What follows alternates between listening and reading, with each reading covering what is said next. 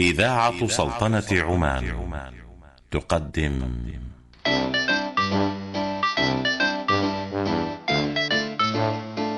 طبعا بديت القراءة من لما كنت صغير. والله أهلي كانوا يقولوا لي يعني أقرأ. لما كنت في الصف الخامس قرأت ثمانين كتاب. إذا القارئ الصغير في سنه الكبير بعطائه. يعني النجاح في الحياة أو النجاح في أي شيء. يريده الإنسان. نعم أحب القراءة. من هواياتي المفضلة القراءة والسباحة. يعني الشخص يستخدم عقله في وقت الحاجة. لأنه كتاب يتحدث عن قاع البحر. في المدرسة كان يجب علينا أن نقرأ على الأقل كتابين في الأسبوع ونشرحها. لازم تكمل القصة عشان تعرف إيش حصل. القارئ الصغير. القارئ الصغير. رحلة يومية مع أجيال المستقبل العاشقة للقراءة. العاشقة للقراءة. يحاور القراء الصغار ويتصفح كتبهم سليمان بن علي المعمري. القارئ الصغير. تنفيذ المخرج حمد بن سعيد الحبسي. القارئ الصغير. القارئ الصغير. أهلا ومرحبا بكم أعزائنا إلى هذا اللقاء اليومي مع القراء الواعدين. قارئنا في حلقة اليوم هو مصطفى غزوان الدليمي طالب عراقي بمدرسة درة الخليج الخاصة بالغبرة مشارك في مسابقة قطار المعرفة. يحب الشعر ويتمنى أن يصبح طبيبا ومدرب كرة قدم.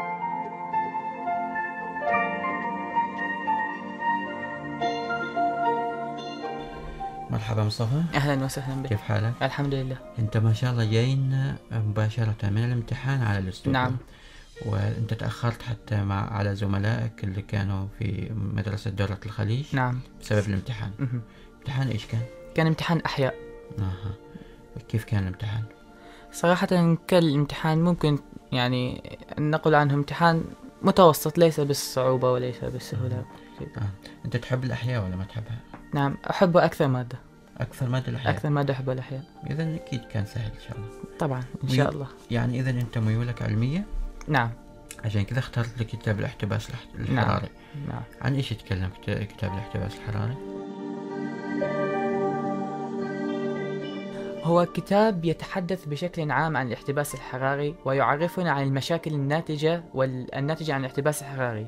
فهو يحكي لنا أن الغازان هما أن هنالك غازان أساسيان اللذان آه، آه، ين- ينتج عنهما الاحتباس الحراري. وهما غاز ثاني أكسيد الكربون والميثان. فهما يعملان في فهما يك... عندما يكونان بالجو يمتصان الحرارة القادمة من الشمس. فبذلك تكون الحرارة كلها متجمعة في الهواء. وبذلك آه، فهذا الغازان يمنعان هذه الح- الحرارة بالرجوع إلى خارج الكرة إلى الفضاء الخارجي مما يسبب مشاكل عدة. فعندما فعندما تزداد نسبة الحرارة هنا النباتات لا تستطيع التكيف مع هذه الحرارة الزائدة. بذلك تموت النباتات وبذلك. وكما نعلم أن النباتات هي التي تقلل بالنسبة ثاني أكسيد الكربون في الجو وتعطينا الأكسجين. فبذلك عندما تموت النباتات آه، سوف تقل نسبة الأكسجين وتزداد نسبة ثاني أكسيد الكربون. مما ينتج, ينتج عن آه، مشاكل عدة منها ذوبان القطبان الجنوبيان مما آه، أدى إلى زيادة في مستويات المياه مما أدى إلى فيضانات عدة وغرق كثير من المدن خاصة في الم... آه، في أمريكا. هنالك في نواحي أمريكا وكندا هنالك العديد من المدن الآن غرقت أصبحت الآن تحت الماء. ما شاء الله عليك. يعني شرح وافي للكتاب. صحيح أنه ميولك علمية. والغريبة أيضا أنه رغم أنه ميولك علمية إلا أيضا أحب الأدب. تحب الأدب وتحفظ أشعار. مهم. من من الشعراء اللي تحفظ أشع- أشعارهم؟ آه، أحب الكثير من الشعراء منهم أبو فراس الحمداني. فأنا آه، أحاول دائما أن أقرأ عن عنه وأحفظ أشعاره وعشان كذا اخترت لي كتاب أيضا عن أبي فراس الحمداني نعم إيش يقول الكتاب؟ آه، يتحدث الكتاب في البداية ويعطي نبذة صغيرة عن حياته. فكما نعرف هو اسمه الكامل هو الحارث بن سعيد بن حمدان الحمداني من عائلة الحمدانيين. فهو ولد في الموصل في العراق. و... وأيضا آه، هو آه، ولد في الموصل و- و- وأيضا وقد وقع في أيدي الروم مرتين. آه، في المرة الأولى في عام آه، 963 ميلاديا. مهم. وحينها فهنالك الع- آه، من الروايات تقول بأنه هرب من الروم أو افتداه آه، آه، سيف الدولة. لكنه آه، مات شابا. نعم. جميل. حتى أن تذكر في نذكر تذكر الأبيات التي آه، رثى بها نفسه لابنته. أبنيتي لا تجزعي. لا معاذ الله أبنيتي لا تجزعي. كل الأنام إلى ذهابي قولي إذا كلمتني وعيت لقد قرأتها في أهل الكتب. وعيت عن رد الجواب. زين الشباب أبو فراس لم يمتع بالشباب نعم لقد ك... لقد كانت حياته حياة مأساوية صراحة مهم. إيش حافظ من أشعار أبو فر- أبو فراس؟ هو الكت... هو كتب العديد من الأشعار ومن بينها الروميات مهم. التي تعتبر من أروع جماليات الشعر ال... ال... آه، الصريح وال... والهذا وتعتبر من أجمل أنواع الشعر ال... الذي يكون به الصدق يعني تحس أنه كان آه، ص... ص... آه، كان قلبه صادق عندما كتب هذه وهي تط... آه، نابعة من قلبه. صحيح. وأيضا آه، آه، لقد حفظت له مقطع من أبياته أقول وقد ناحت بقربي حمامة. أيا جارتا هل تشعرين بحالي؟ معاذ الهوى ما ذقت طارقة النوى ولا خطرت منك الهموم ببالي. أيضحك مأسور وتبكي طليقة ويسكت محزون ويندب سالي. كنت أولى بالدمع منك مقلة لكن دمعي في الحوادث غالي. الله شعر جميل وانتقائك رائع يا مصطفى. شكرا لك. لكن أنت يعني حفظك للشعر ما مقتصر على أبي فراس طبعا. نعم. من من من شعراء أيضا غيره؟ المتنبي. متنبي. تحفظ له شيء؟ ح- آه، سوف أقول لك مقطعان أو بيتان شعريان. أنا الذي نظر الأعمى إلى أدبي وأسمعت كلماتي من به صمم. الخيل والليل والبيداء تعرفني والرمح والسيف والقرطاس والقلم. أنام ملء جفوني عن شواردها ويسهر القوم جراها ويختصم. ممتاز. امرؤ القيس تحفظ له شيء؟ مكر مفر مقبل مدبر معا كجلمود صخر حطه السيل من علي. آه هذا امرؤ القيس. عندما ما كان يصف الحصان. يصف الحصان.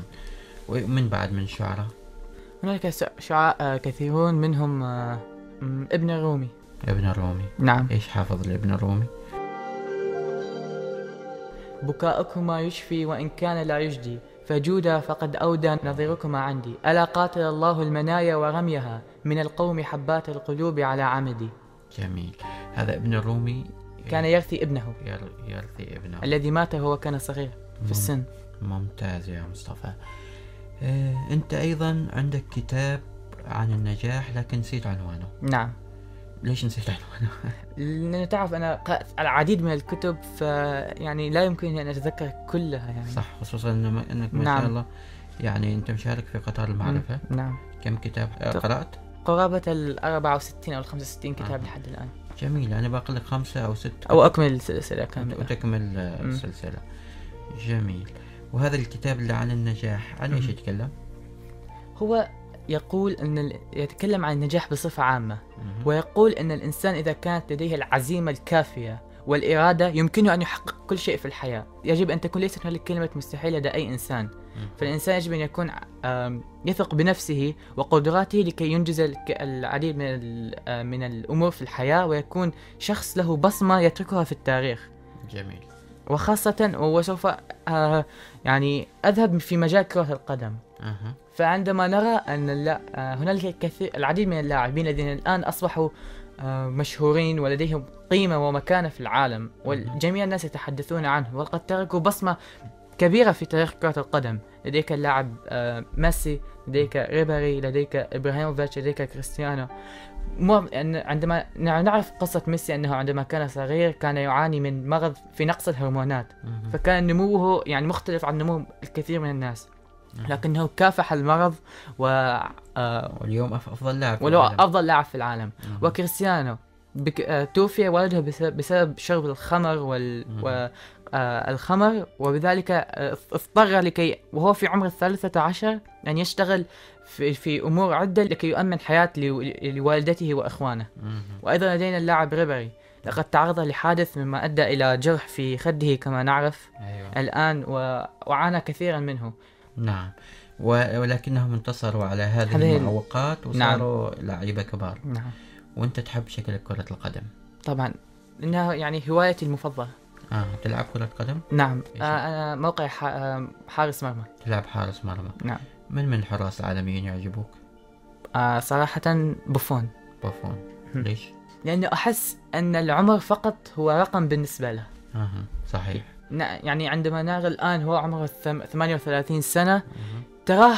يعني أقوى وأنشط من بعض اللاعبين الذين ما زالوا 28 أو 29 سنة صحيح فهذا يعجبني أن يعني العمر بالنسبة له لا شيء جميل عشان كذا أنت إحدى الأمنيتين اللي تتمناهم أنك تصبح مدرب كرة, كرة قدم بعد أن أعتزل كرة القدم إذا أصبح حارس كرة قدم مشهور وبعدها أحب أن أصبح مدرب كرة قدم. لكي أترك بصمة في التاريخ جميل. كرة القدم. مدرب فريق ولا مدرب حراس؟ لا مدرب فريق كامل. فريق كامل. مهم. جميل. والأمنية الثانية؟ هي أن أصبح طبيبا. إنك تصبح طبيب. ليش؟ لأني دائما ما أحب أن أساعد الناس وأقدم العون لهم.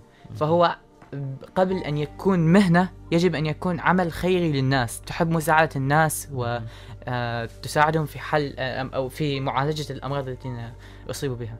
جميل. طبعا أنت واصل الاذاعة بصحبة والدك. نعم. إيش يشتغل والدك؟ طبيب. طبيب. نعم. أنا سألتك هذا السؤال لأن توقعت أنه أحد من أهلك أيضا له علاقة بأمنيتك. نعم فهم أهلي هم الذين يعني لديهم التأثير الكبير فهم الذين دائما يحببوني في الأشياء هذه الطبية وهذا وينصحوني أن أكون طبيب في المستقبل. إن شاء الله. نتمنى لك إن شاء الله تتحقق إن شاء الله. الأمنيتين. إن شاء الله. طبيب ومدرب كرة قدم. إن شاء الله. إن شاء الله. بقي اذا أسألك عن إذا عندك حكمة. نعم لدي حكمة أحبها كثيرا لأنها تصف الحالة التي نعيشها الآن. نعيب زماننا والعيب في- فينا وما لزماننا عيب سوانا. أها هذه حكمة مشهورة. نعم. إذا طلبت منك تشرحها. نحن الآن في حياتنا آه نعيب الزمان الذي نعيش فيه. ونقول لولا الزمان لكانت الأمور أحسن. لكن لكن الشيء الذي جعل الزمان يتغير هو نحن أنفسنا. نحن تغيرنا فبذلك تغير الزمان. فيجب أن نصلح ما في أنفسنا لكي حتى نصلح الحياة والزمان الذي نحن نعيش فيه. الله شرحك جميل يا مصطفى.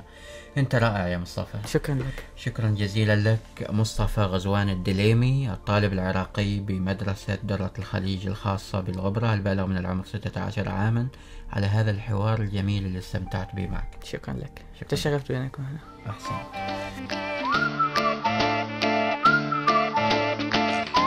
القارئ الصغير.